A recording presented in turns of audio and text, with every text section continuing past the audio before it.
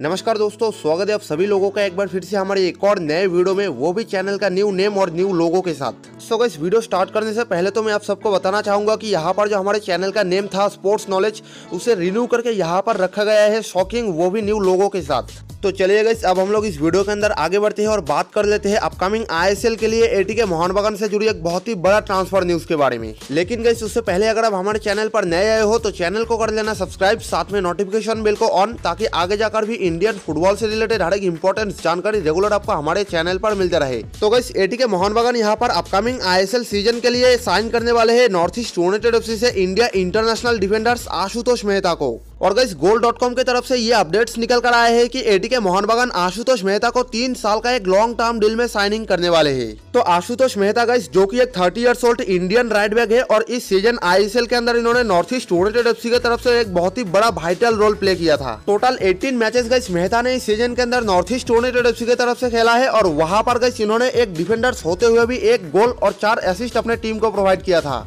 And guys हाल ही में Oman के खिलाफ इंटरनेशनल फ्रेंडली मैचेस में इंडियन नेशनल टीम के अंदर भी इनका डेब्यू हुआ है। और गैस इससे पहले 2019-20 आई लीग सीज़न के अंदर जब ये मोहन बागान का टीम में शामिल था तो वहाँ पर भी गैस इनका परफॉर्मेंस बहुत ही शानदार था। और गैस अब यहाँ पर एक बार फिर से आशुतोष मेहता का मोहन बागान में कम होने वाले है। वो भी तीन साल का एक लॉन्ग टर्म डील में। एंड गाइस यहाँ पर अगर एटी के मोहन बागान का head coach Antonio Lopez Habas का थ्री फाइव टू का प्रीफर्ड फॉर्मेशन को देखा जाए तो उसके अंदर राइट विंग बैक का पोजीशन में ये टीम एक पार्टिकुलर प्लेयर को मिस कर रहा था। हालाँकि प्रवीण दास 2019-20 सीज़न में वहाँ पर बहुत ही अच्छा खेल रहा था, लेकिन गैस इस सीज़न में उनको वहाँ से ड्रॉप कर दिया गया है। और प्रवीण दास जैसे खिलाड़ी को गैस हबास उतना ज़्यादा मौका नहीं दे रहा था। एंड गैस यहाँ पर अगर उस राइट विंग बैक का पोजिशन को देखा जाए तो इसके अंदर आशुतोष मेहता एक परफेक्टली फिट कर जाते हैं। क्योंकि गैस मेहता डिफेंडिंग के साथ साथ काफ़ी ओवरलैप पे निकलते हैं। इसके अलावा डाउन द फ्लंग से अच्छा खासा पिन पॉइंट क्रॉसेस सेंड करने का एबिलिटी भी इनके पास मौजूद है। और उसका नमूना भी गैस इन्होंने नॉर्थ ईस्ट यूनाइटेड एफसी का जर्सी में पेश भी किया है। और गैस जैसा कि मैंने आप सबको बताया कि मोहन बागान का टीम में एक पार्टिकुलर रूइंग बैक परफॉर्मर की कमी है